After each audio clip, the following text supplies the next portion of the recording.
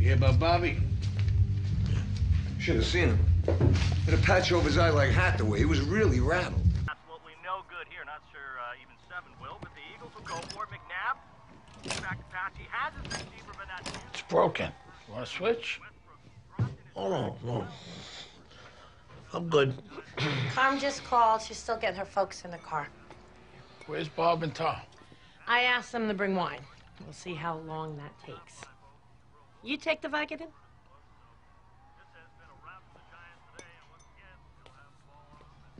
They'll take over from their own 25-yard line. Manning has had success throwing the ball. Tiki Barber running the ball. Giants, huh? Gets the call here once again. Going over the right Fucking blowing them out. As long as they don't beat the spread. Where you going? Out. The Giants are kicking ass here. I'm going to Eric's, watch the Chargers. What channel's that on? Some people aren't too cheap to buy the satellite package. Sit down.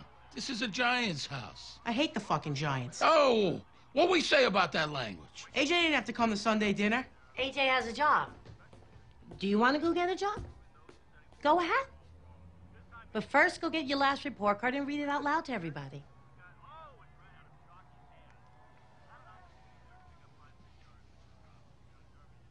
No, I thought so.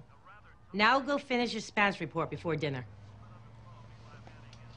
Set the table, honey.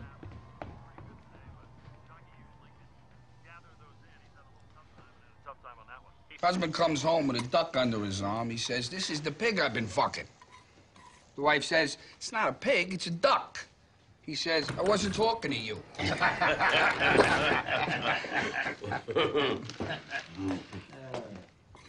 Vito. He was found beat to death this morning in a motel in Fort Lee. My cop up there told me. Mink. Plus, the homicide detectives told him Vito had a pool cue rammed up his ass.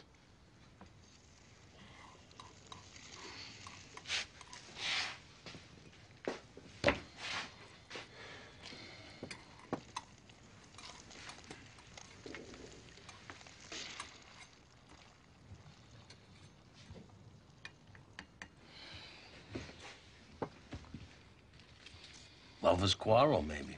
Look, we all know who did it. Phil. Fucking balls on that prick. What I always say about him.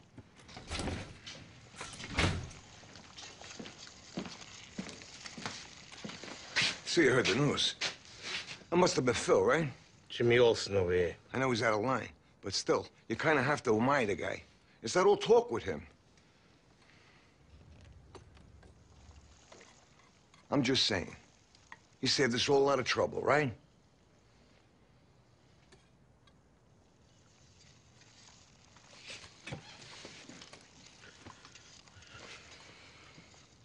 Can't have been an easy decision killing a married guy, huh? Naturally, Phil won't brag about it, because he can't. Phil was in a tough situation. His family honor was stained. If I got the Vito first, that result would have been the same. Fucking A.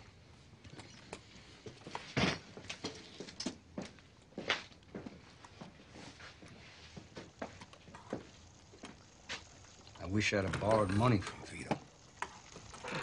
Exactly a Thanksgiving Day classic here, Ed. Both coming out looking The fuck? Come on, cut it out. He's already talking like a real construction worker. Yeah, funny. See how you like working out in the cold. Go check on the bird. Bring back some onion dip, too. Bledsoe going from the shotgun. His receiver's not there. Maybe he went to get some more turkey for Thanksgiving. Maybe some of your leftovers, Ed. It'll be third and long. So how's your bird these days? What the fuck are you talking about? Come on. Clandestine phone calls. I know you got a new gourmand What can I say, huh? with a pregnant wife at home. Your timing is fucking priceless. Playground's closed. Man has his needs. Good point. When Carmela had her spec house, I can't tell you how many nights I defended for myself while she was out looking at bathroom fixtures. So there's no one. I mean, how come you don't bring her around? Honestly, I would, but uh, between us, she's black. Oh, You're begging a shine? She's hot too, classy. Not that it would matter to Paulie. I'd still have to listen to all his racial bullshit. yeah. She would feel it, too.